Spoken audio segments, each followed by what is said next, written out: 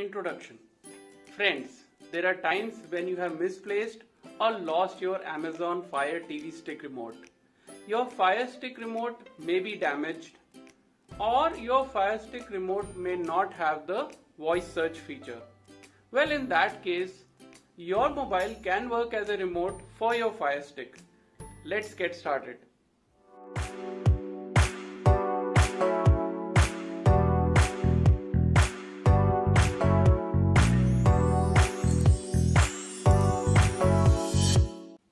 Amazon Fire TV.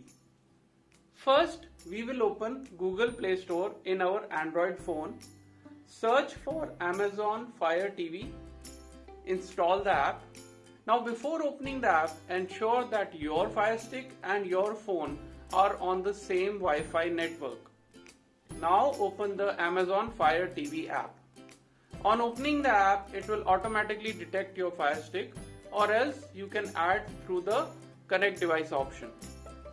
When you click your device, it will ask you a 4 digit code which will display on your TV. Enter the code. The app will now initialize and show you a short tutorial. Features Amazon Fire TV app has all the same buttons as your Fire Stick remote. The touchpad in the middle is touch sensitive you can scroll up, down, left and right. You can even forward or rewind a movie while watching.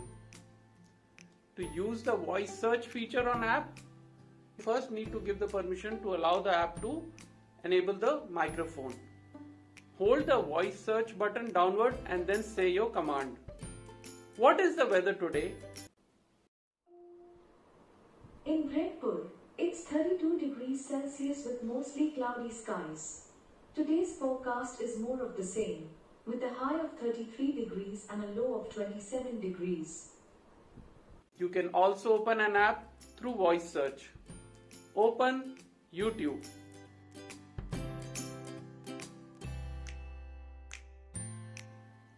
There is a shortcut button to access all our Firestick apps.